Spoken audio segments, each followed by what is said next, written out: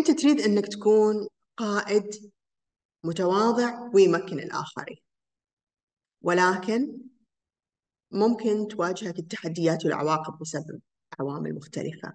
واليوم في هذا في هذا التسجيل بقوم بمناقشة آه هذه التحديات وكيفية التغلب عليها.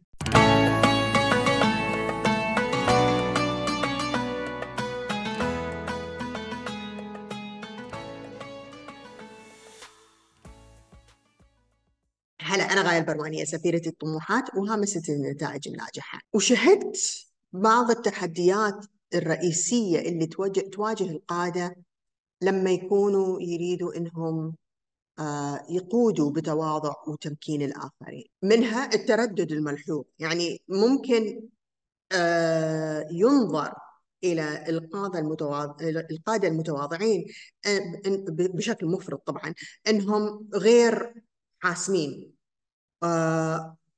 وخاصة وقت اتخاذ القرارات الحاسمة اللي ممكن تعيق آه، فعاليتهم ممكن كمان يعيق التقدم الوظيفي. فالتواضع إذا لم يكن متوازن آه، بشكل فعال ممكن يعيق التقدم الوظيفي لأنه ممكن ينظر لهذا القائد أنه ما ما ينقص الحزم أو أو ينقص الثقة في نفسه وفي آه، قراراته. وطبعا كمان ممكن يحد من تطوير الفريق. فالتواضع المفرط ممكن إنه يحد من قدرة القائد إنه يدفع التطوير في الفريق والنمو.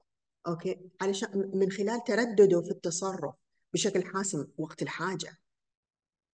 لمواجهة هذه التحديات وتعزيز القيادة الفعالة مع تمكين الآخرين ممكن للقائد أنه يقوم بأحد ما يلي. أولا تحقيق التوازن ما بين التواضع والحزم أو والحزم حيث إنه يح...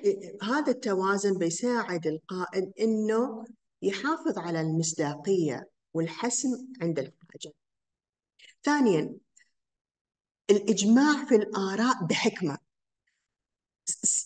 السعي في الإجماع وإننا ناخذ آراء الجميع مهمة جدا ولكن على القائد كمان إنه يعرف متى يتخذ القرارات الحاسمة لصالح الفريق والمنظمه ثالثا الإقرار بالإنجازات.